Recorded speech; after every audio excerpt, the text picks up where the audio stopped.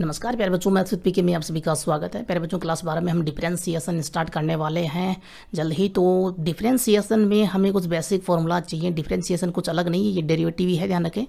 यहाँ पर बड़े बड़े फ़ंक्शन आप लोगों को दिए होंगे तो उनका हम डेरिवेटिव निकालेंगे। तो प्रोसेस जो होगी, हमारी शॉर्ट प्रोसेस होगी।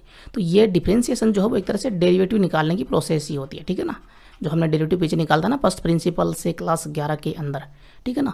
तो यहाँ पर फ़र्स्ट प्रिंसिपल हम यूज़ में नहीं लेंगे, उसका ही एक दूसरा अलग तरीका होगा, वो हम काम में लेंगे।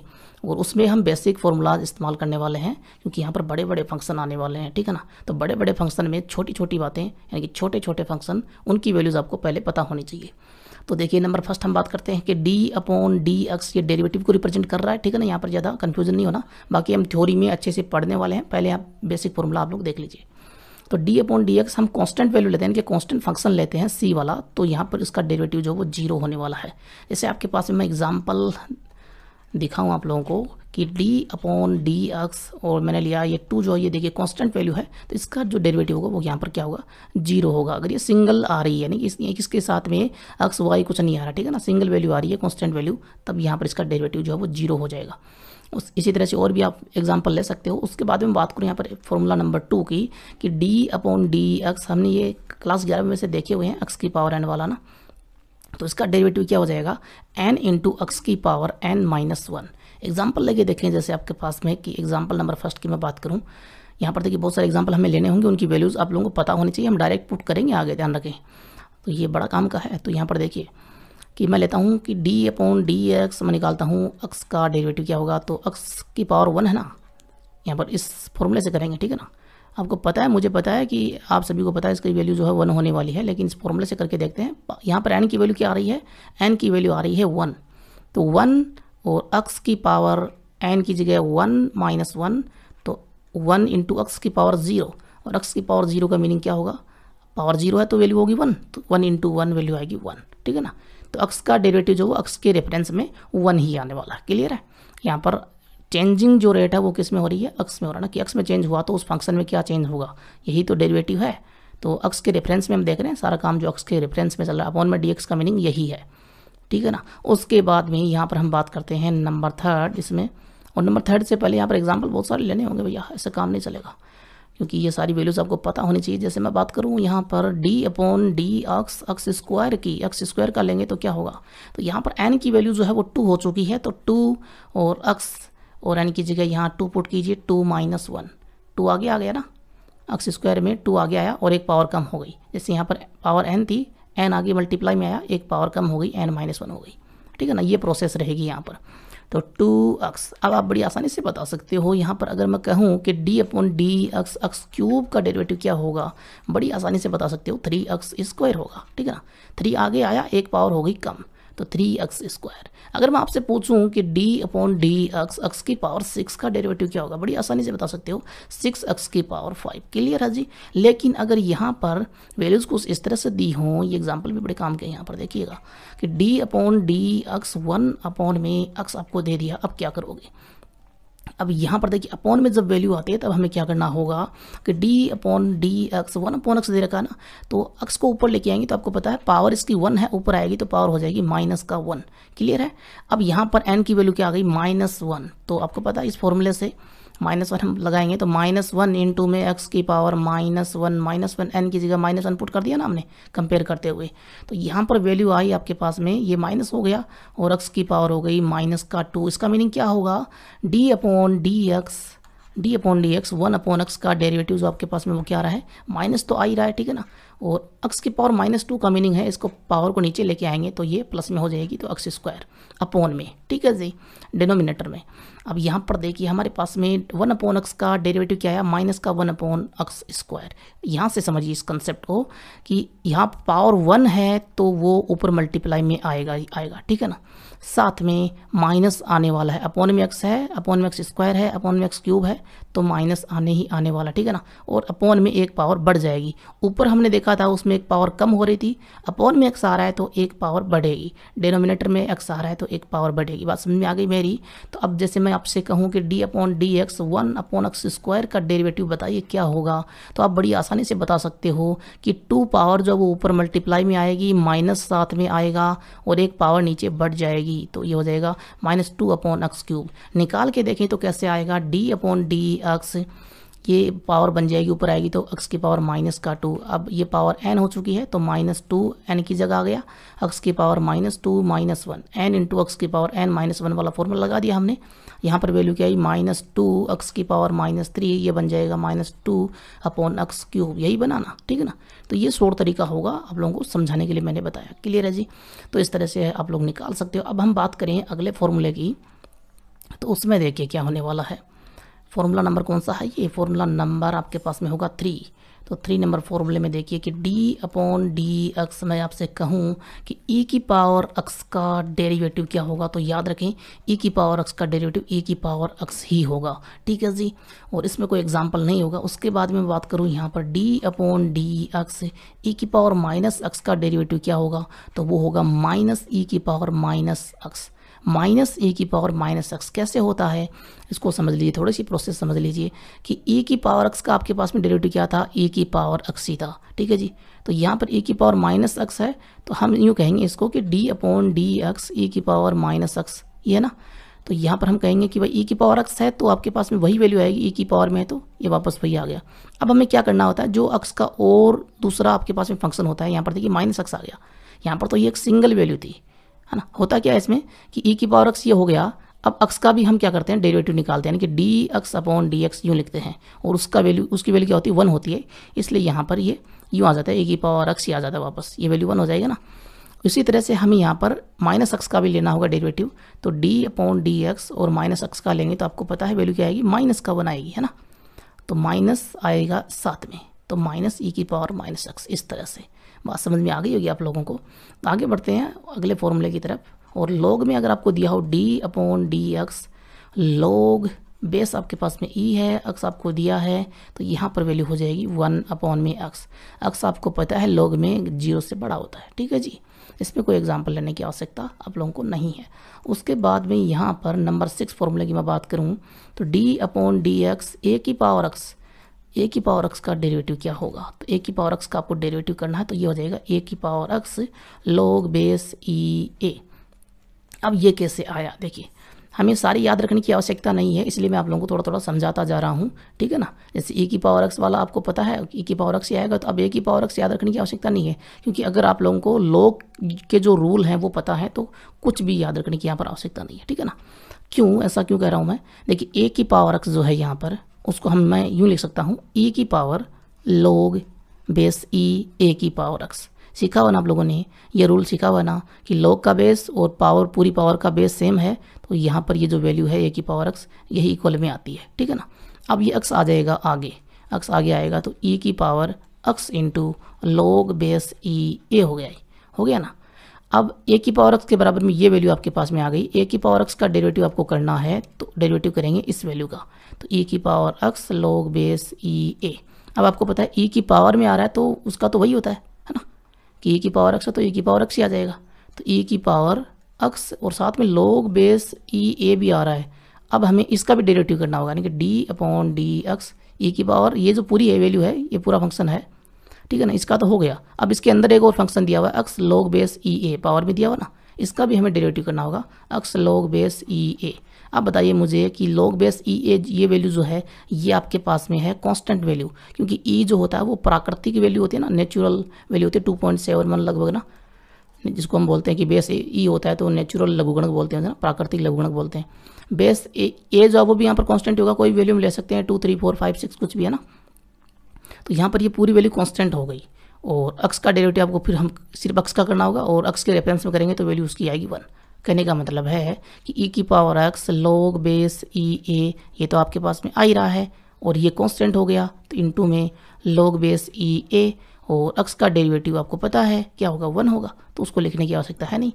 अब ये वैल्यू किसके बराबर थी? ये वैल्यू देखिए ए की पावर एक्स के बराबर थी.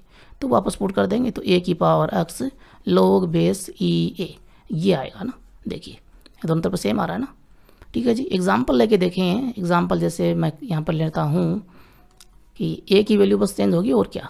कि डी अपॉन डी एक्स मैं बोलूँ कि टू की पावर एक्स का डेरिवेटिव क्या होगा? ऐसे क्वेश्चंस आते हैं एग्ज़ाम में तो आप क्या कहोगे? टू की power x log base e two ठीक है जी? बेस यहाँ पर कैलकुलस में नहीं दिया होगा, तब भी यहाँ पर ई ही होने वाला टेन नहीं होगा। ध्यान रखिए बात कैलकुलस में क्लियर है? इसी तरह से आपको कह दिया कि d upon d x three की पावर एक्स तो क्या हो जाएगा? थ्री की power x log base e three होगा, है ना? यहाँ पे ए होता है तो ए की जगह आ गया थ्री समझ में आ गया होगा आप लोगों को? अब आगे बढ़ते हैं, यहाँ पर बात करते हैं। देखिए, किसकी बात करें? अगले फॉर्मूले की। अगला फॉर्मूला कौन सा होगा? ये नंबर सिक्स था, माफ़ कीजिए तो ये हो जाएगा अपना सेवन नंबर ठीक है ना? ये नंबर सिक्स था सेवन हो जाएगा ये।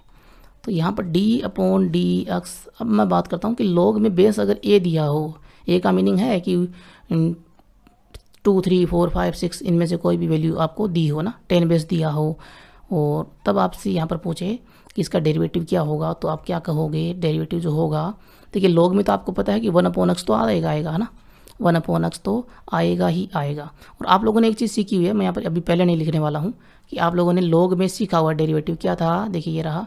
लोग बेस ई है तो आपके पास में अक्स का डेरिवेटिव है। लोग में वो वन अपॉन अक्स आ रहा है। ठीक है ना? ये आप लोगों को पता है। तो मैं यहाँ पर बेस इसका बना लेता हूँ ई कि लोग बेस ए अक्स ये आपको दिया हुआ है। मैं इसका बेस बना लेता हूँ क्या? ई कैसे बनाऊँगा? लोग में आपको पता है? कैसे चेंज करते हैं हम?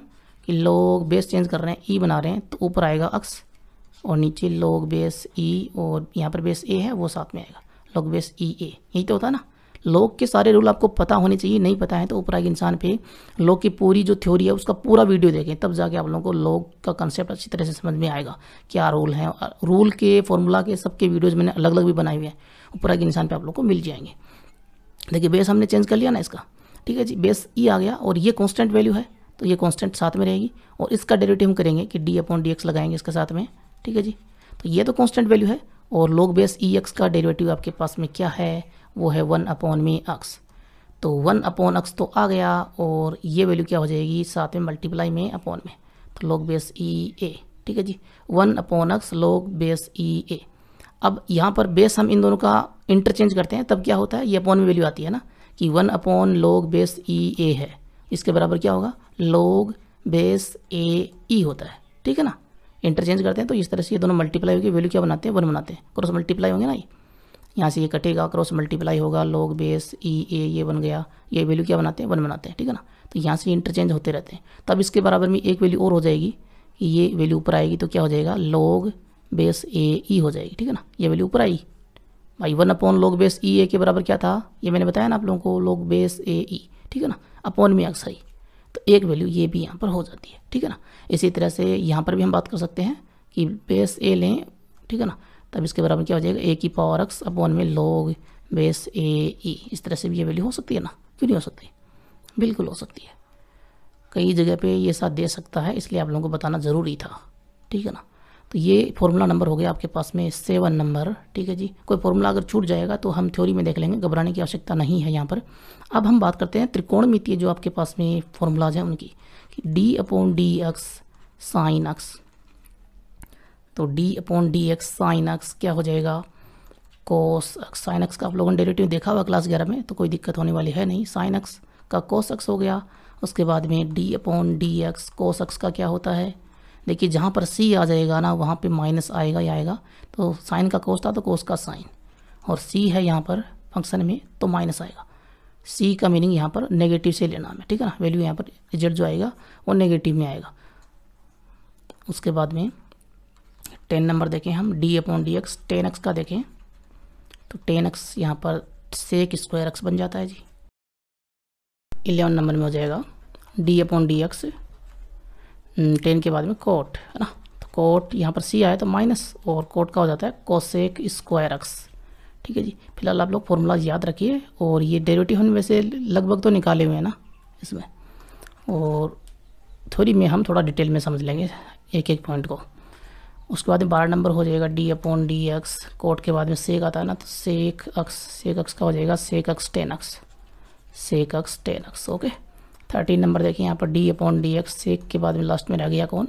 को सेक तो सी आ रहा तो नेगेटिव तो आएगा ही, और कोसेक अक्स कोटक्स ओके ये आपके पास में साइन कोस टेन कोट से कोसेक हो गए थे त्रिकोणमितीय फलन, उसके बाद हम बात करते हैं इन्वर्स ट्रिगोनोमेट्रिक फ़ंक्शन हाँ?